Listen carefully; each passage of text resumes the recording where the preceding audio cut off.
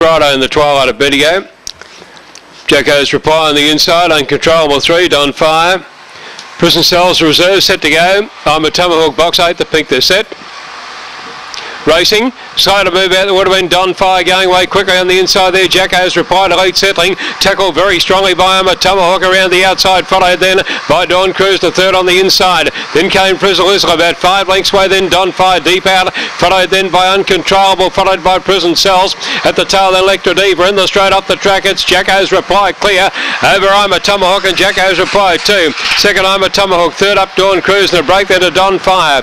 They were followed over on the inside then by Lizzle. Well back would have been Prison Cells and Electra Diva and the time showing at 24.30.